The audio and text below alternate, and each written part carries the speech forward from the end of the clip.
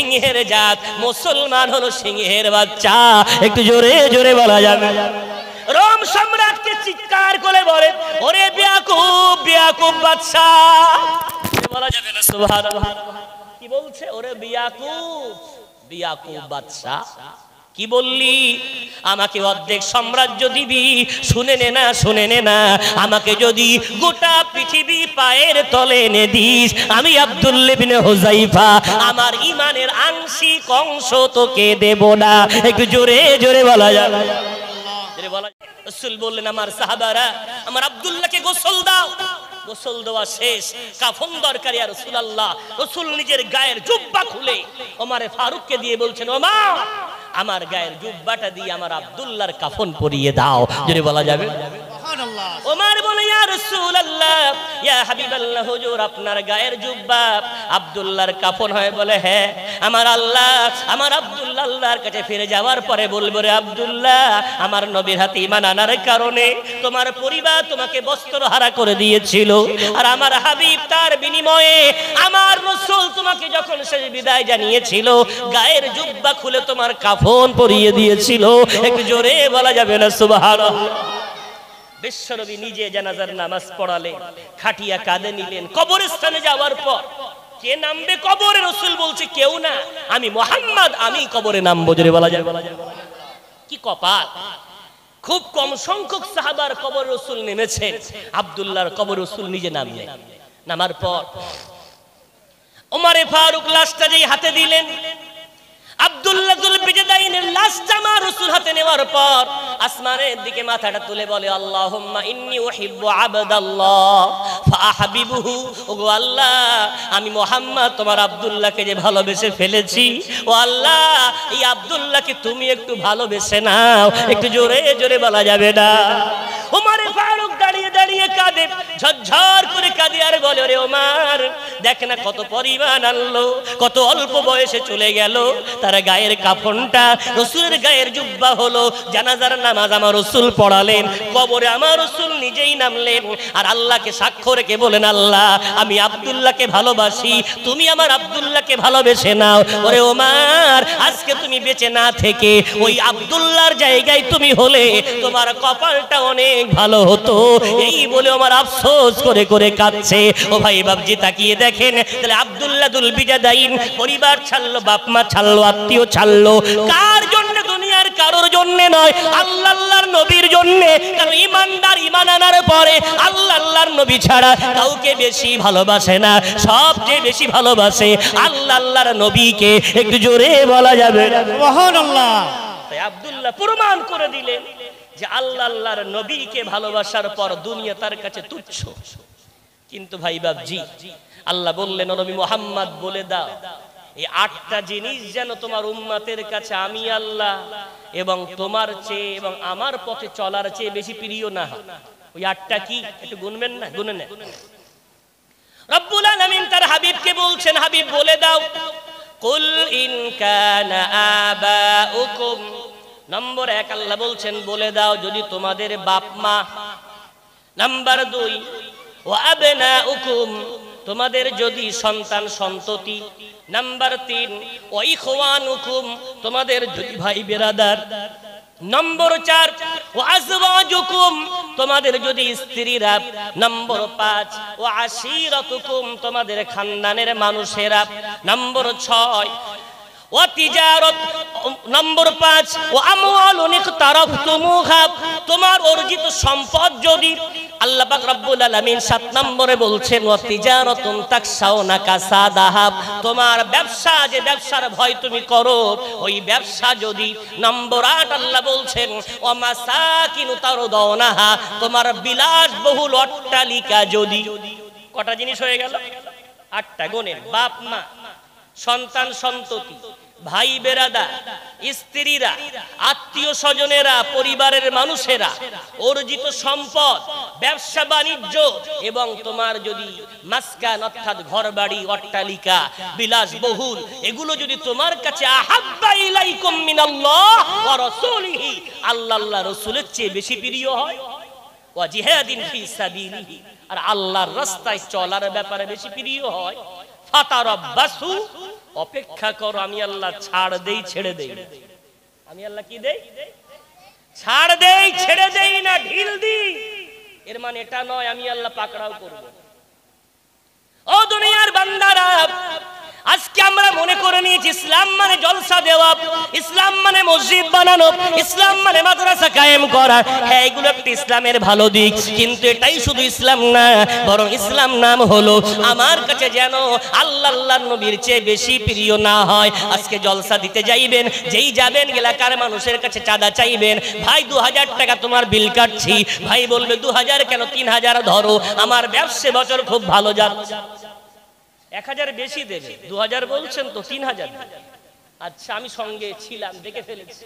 আমি বলছি, ভাই, তিন হাজার টাকা দিচ্ছেন, তো তো খুব ভালো, তো আপনাকে তো মসজিদে একদম দেখতে পাই না। বলছে, খুব ব্যবসার চাপ হুজুর, ওই ব্যবসার জন্য একদম মসজিদ যেতে পারি। ওই আটটার মধ্যে আছে ব্যবসা। কথা বলেন। আটটার মধ্যে আছে ব্যবসা। মাগরিবের নামাজের পরে তসবি নিয়ে খুব তসবি টিপছে। তো আমি বললাম, কি ব্যাপার? বলছে, আমি মুরিদ হয়েছি। আচ্ছা। তো মুরিদ হওয়া তো ভালো কাজ। তো আসর আর জোহর কোথায় পড়া হয়? ওই দুওক তো পড়ি না। আচ্ছা ওই দুওক তো পড়ো না আর মুরিদ যাক, তো কেন পড়ো না? বলছে, বাচ্চাটাকে নার্সারি স্কুলে ভর্তি করেছি, তো টাইমে নিয়ে যেতে হয়, টাইমে আনতে হয়। তাই দুওক তো পড়া হয় না। তাহলে ওই আটটার মধ্যে বাচ্চা আছে? কথা বলছেন না কেন আচ্ছা। আচ্ছা। নওজোয়ান যুবক বন্ধু, জলসা থেকে যেই নামলাম, বুকটা জড়িয়ে ধরে, আসসালাম হুজুর, আপনার ওয়াজ না আমি ইউটিউবে খুব শুনি, খুব ভালোবাসি, আপনাকে জানেন, এত মহব্বত করি। আচ্ছা আমি মুখটা হাত বুলিয়ে দিলাম, তো দাড়ি টাড়ি কই? এই সবে তিন মাস হলো বিয়ে করলাম, দাড়ি রাখলে বুড়ো বুড়ো মতন দেখায় তাই স্ত্রী মানা করেছে দাড়ি রাখতে। স্ত্রী কি করেছে? দাড়ি রাখতে? মানা করেছে।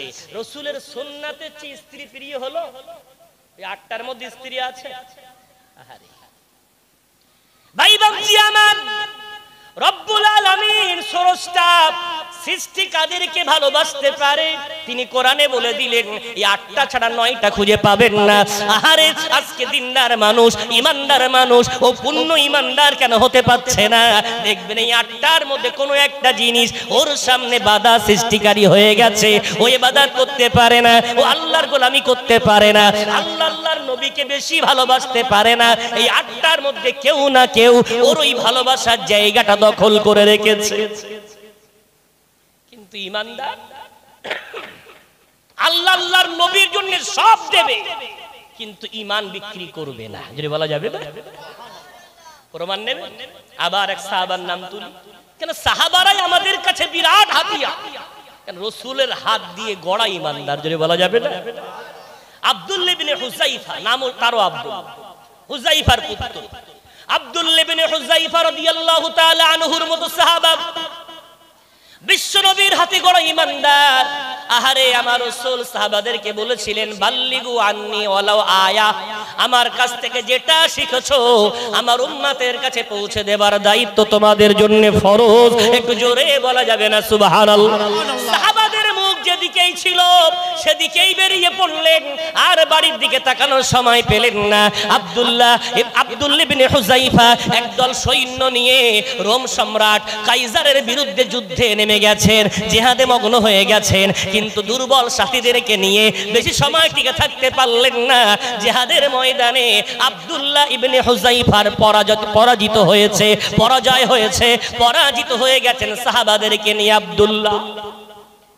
পরাজিত হলে সে যুগের রীতি ছিল, পরাজিতদেরকে দাস বানিয়ে ফেলা হবে, বন্দি করা হবে।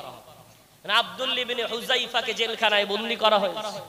ঠিক এমন সময় রোম সম্রাট কাইজারকে একজন প্রতিনিধি এসে বলছে, ও রোম সম্রাট, তুমি জানো আব্দুল্লাহ কে? বলে কে? বলে, বিশ্বনবীর হাতে গড়া এক সাহাবা, খুব পাক্কা ইমানদার। ওকে যদি ইহুদি বানিয়ে নেওয়া যায় না, ওর দ্বারাই মুসলমানদের খুব ভালো ক্ষতি করা যায় কেন গাছ কাটতে গেলে কুড়াল দিয়ে গাছ কাটা যায় না? গাছের সজা যতক্ষণ ওর পিছনে সাহায্য না করে, ওই কুড়াল কিন্তু গাছ কাটতে পারে।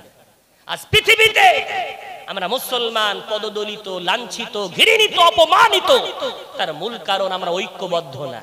আমাদেরকে শেষ করছে এই টুপিধারী, এই লেবাসধারী একদল আলে এই মঞ্চে বসার পর, এ কাফের, ও কাফের, ও ফাসেক, ও বেঈমান এমন কি বলে ভাষণ? মনে হয় যেন জান্নাত, জাহান্নাম একাই সব দুনিয়ায় বন্টন করবে, কিয়ামত আল্লাহর করার কোনো দরকার নেই। ওই একে একা সব জান্নাতি ও জাহান্নামি, ও একাই জান্নাতে জানেন, আল্লাহর ছোট্ট একটা জান্নাতের বৃক্ষের ছায়া একশত বছর যদি একটা ঘোড়া দৌড়ায়, তো এই ছায়াটা শেষ করতে পারে না, জোরে বলা যাবে। ছোট্ট বৃক্ষ যদি এই হয়, তাহলে বড় বৃক্ষের মাপটা একটু ভেবে নে। আর এমন জান্নাত আটটা আটটা আছে, তুমি একা যাবে আর বাকি জান্নাতগুলো কিতকিত খেলবে। ও একাই যাবে। ওরে সর্বনাশ। ভাই বাবজি আমার আজকে আমাদের মুসলমানদের জন্য সবচেয়ে বড় ক্ষতি করছে মুসলমান সজাগ। বিশ্বনবীর সাহাবা আব্দুল্লাহ ইবনে হুযাইফা রাদিয়াল্লাহু তাআলা আনহুকে ইহুদি বানিয়ে নেওয়ার জন্য রোম সম্রাট কাইজার বলল, আমার উপদেষ্টা মণ্ডলীগুলোকে আমার রাজদরবারে ডেকে দাও, আমি তাদের সাথে মশওয়ারা করতে চাই। দেখি কীভাবে ওই আব্দুল্লাহর ইমানটা কেড়ে নেওয়া যায়। উপদেষ্টা মণ্ডলীরা বলল, ও রোম সম্রাট কাইজার, আমরা তোমাকে মশওয়ারা দিতে পারি। ওই ওই মোহাম্মদ হলো গরিবের নবী, ওর সঙ্গী সাথীরা সব মরা গরিব। ওদেরকে অর্থের প্রলোভন দেখাও, সম্পদের প্রলোভন দেখাও। দেখবে ওরা অটোমেটিক ওই পয়সার সামনে অর্থের সামনে, সম্পদের সামনে মাথাটা ঝুঁকিয়ে দিয়ে ইমান ছি- ইমান হারা হয়ে ইহুদি ধর্ম গ্রহণ করে নেবে রোম সম্রাট বলছে, তাই? তাহলে সহজ ব্যাপার তাহলে, দেখি, আনো আমার সামনে। আব্দুল্লাহ ইবনে হুযাইফাকে রোম সম্রাটের সামনে আনা হয়েছে। হাতে শিকল, পায়ে শিকল। ও আব্দুল্লাহ ইবনে হুজাইফা আমি রোম সম্রাট কাইজার কথা দিচ্ছি। আমাকে তোমার ইমানটা দেবে। বিনিময়ে আমি রোম সম্রাট তোমাকে, এই রোম সাম্রাজ্যের অর্ধেক সাম্রাজ্য তোমাকে দেব। সৌদাটা ছোট না বড়? কথা বলে বড় সৌদা না রোম সাম্রাজ্যের অর্ধেক সাম্রাজ্য দেব। আব্দুল্লাহ বিন হুযাইফা, তোমার ইমানটা দাও। রোম সাম্রাজ্যের অর্ধেক সাম্রাজ্য দেব। ও ভাই বাবজি আলোচনা শুনে চলে গেলে হবে না। ওই জায়গাটায় আমি আপনি একটু দাঁড়িয়ে যাই। আর আপনাকে যদি কেউ বলে, এই বহিষ্বেড়িয়ার অর্ধেক সম্পদ আপনাকে দেব ইমানটা দাও। কি করবে? আব্দুল্লাহ বিন হুযাইফা রোম সম্রাট কাইজারের সামনে দাঁড়িয়ে কি কথা বলেছিলেন? কথাটা হৃদয়ে গেথে রাখার মতো। সিংহের জাত, মুসলমান হলো সিংহের বাচ্চা। একটু জোরে জোরে বলা যাবে। রোম সম্রাটকে চিৎকার করে বলে, ওরে বিয়াকুব বিয়াকুব বাচ্চা বলা যাবে না, সুবহানাল্লাহ। কি বলছে? ওরে বিয়াকুব বিয়াকুব বাচ্চা কি বললি? আমাকে অর্ধেক সাম্রাজ্য দিবি শুনে নে না শুনে নে না। আমাকে যদি গোটা পৃথিবী পায়ের তলে এনে দিস আমি আব্দুল্লিবিন হোজাইফা আমার ইমানের আংশিক অংশ তোকে দেব না। একটু জোরে জোরে বলা যাবে। বলা যাবে না সুবহানাল্লাহ। গোটা